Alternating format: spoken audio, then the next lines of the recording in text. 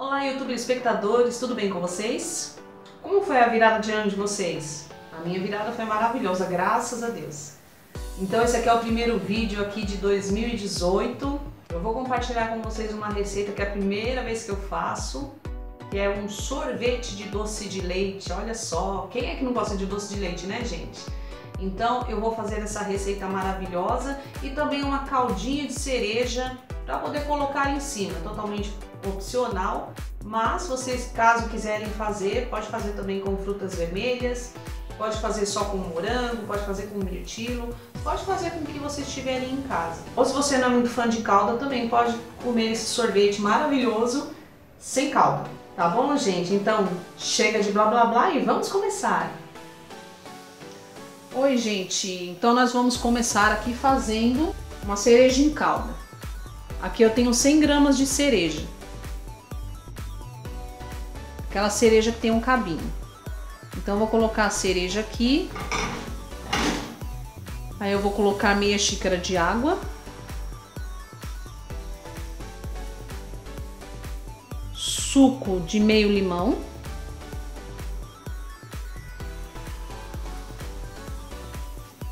E uma pitadinha de cravo em pó.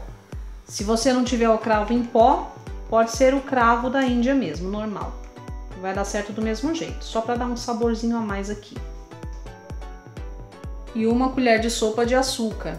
E eu estou colocando aqui uma colher de sopa porque a cereja está madura, bem madura. Mas fica a seu gosto se você quiser colocar mais açúcar. Você vai experimentando para ver como é que está, tudo bem? Agora eu vou ligar o fogo Vou misturando aqui todos os ingredientes na panela. E aí eu vou mostrar para vocês como é que ficou. E aí eu informo o tempo que ficou no fogo para que vocês possam fazer em casa, tá bom? Até já! Então, gente, sobre essa cereja em calda que eu fiz aqui, depois que eu fiz eu deixei esfriando para poder colocar no sorvete. Se você quiser, você pode fazer essa calda aqui com morangos, você pode fazer com mirtilos, pode fazer com a fruta que você tiver em casa e que for mais barato para você fazer, tá bom? Eu fiz com cereja porque eu achei essa cereja aqui na oferta no supermercado. Mas se você quiser, pode fazer com a fruta de sua preferência para colocar como calda em cima do seu sorvete. Então, vamos esperar o sorvete ficar pronto. Aí na hora que eu for servir, eu vou mostrar para vocês e colocar por cima aqui. Pronto, gente, agora nós vamos aqui ao nosso sorvetinho maravilhoso de doce de leite. Leva apenas dois ingredientes. Vai levar duas caixinhas de creme de leite aqui de 200 gramas. Tem que estar tá bem, mas bem gelado mesmo, para poder fazer o efeito que a gente precisa aqui no sorvete. Eu vou bater aqui até dobrar de volume, tá bom?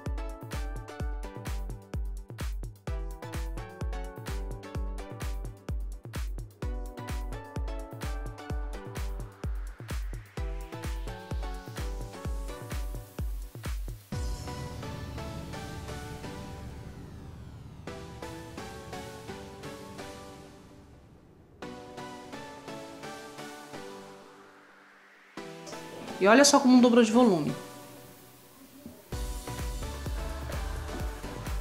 Agora eu vou colocar aqui uma colher de sopa de emulsificante. Esse daqui, ó.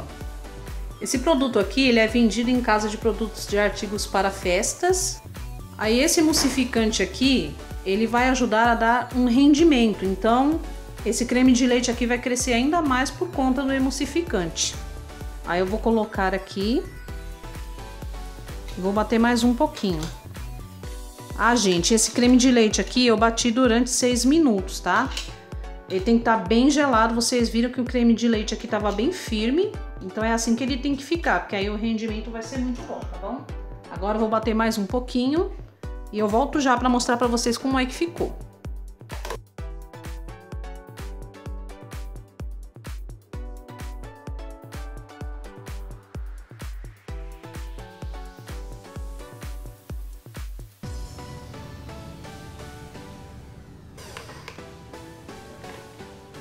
Tá vendo como ficou? Que lindo, né? Aí eu vou colocar aqui o doce de leite.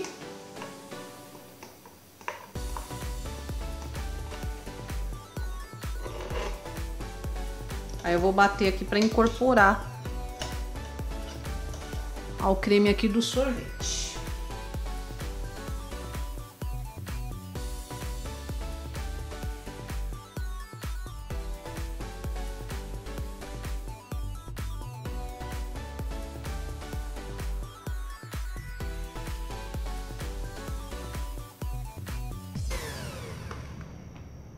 Pronto, e assim ficou o nosso sorvete de doce de leite. Olha que delícia isso, gente! Pronto, e assim ficou o nosso sorvete, olha só. Agora eu vou colocar aqui nesse pote de sorvete. Vamos ver aqui o rendimento dele.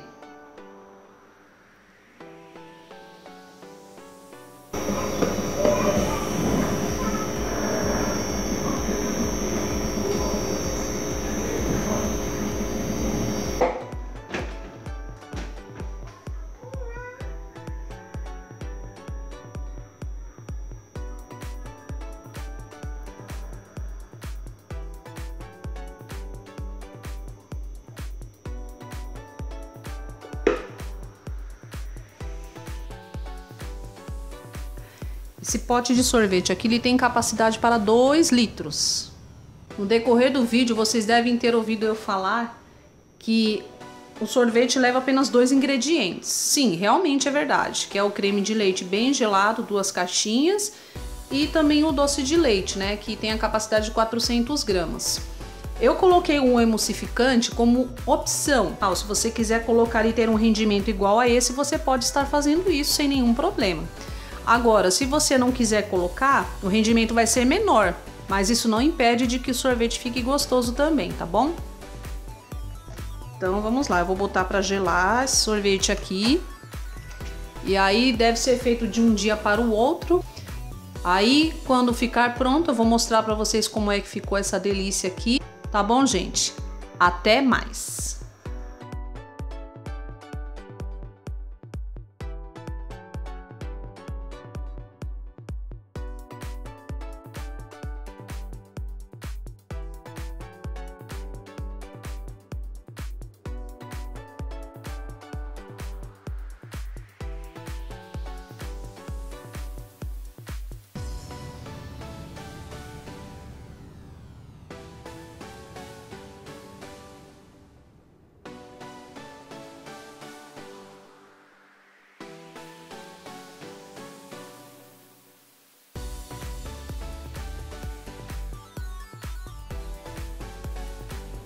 Bom, gente, vocês viram, né? O sorvetinho ficou muito lindo.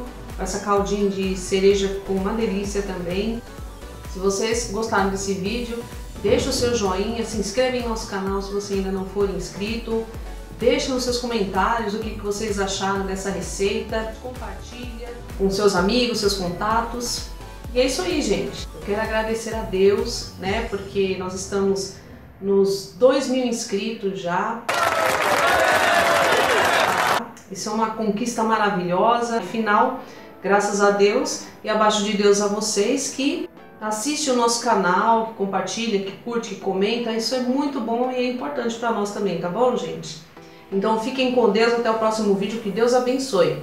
Tchau, tchau.